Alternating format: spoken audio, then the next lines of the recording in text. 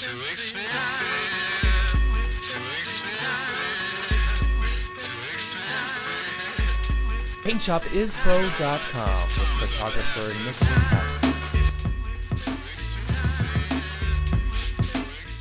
Nick Haskins here. Welcome to PaintShopIsPro.com, a professional's guide to using Corel PaintShop Pro 12. Today we're going to talk a little bit about levels and curves. Do not let them scare you. It's a simple, simple, simple adjustment that's made in post and should not be considered complicated. It's extremely simple. What we're going to do is go ahead and Control O, open up your picture. Well, what we have here is Gigi, a lovely senior from a couple weeks back, senior session that we did. It's a beautiful picture on its own, but I think we can do a little bit more to make it pop. So what we're going to do is go ahead and do Adjust, Brightness and Contrast, Levels. Going to pop up your box here. Make sure preview on image is checked. This is a histogram. This is your darks, this is your midtones, and this is your lights. What you're going to do is bring your lights into that normal range, and same thing for your darks. Watch it change on the screen. Uh, same thing with your midtones here, just a tiny bit. Subtle, subtle, subtle adjustments. Do not spend five minutes trying to make these adjustments. Subtle adjustments, keep it simple, okay? There is our before, there's our after. Congratulations, you've just applied levels. It's seriously that simple.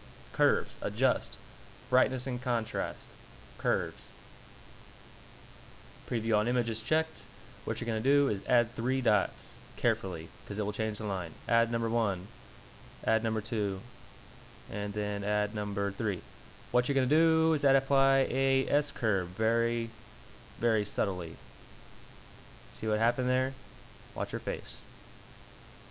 Just apply the highlights just a tiny, tiny bit. Bump those up in her face. Now we're going to take the darks down just a little bit everywhere else. And make sure the highlights are still in her face. And I'm going to leave the midtone right about there. Subtle, subtle S-curve. Okay. Congratulations, you've just applied levels and curves. It's seriously that simple. We're going to go ahead and open up our first image here for comparison. And before is on the left, after is on the right. It's seriously that simple. Don't spend hours doing this, and don't please don't do this to every single photo. It will take you days to edit your photos from a session. Only do this on the ones that you think that need it. Uh, my name is Nick Haskins. Thanks for shopping in to PaintShopIsPro.com. Check back next week, and we'll have something else for you.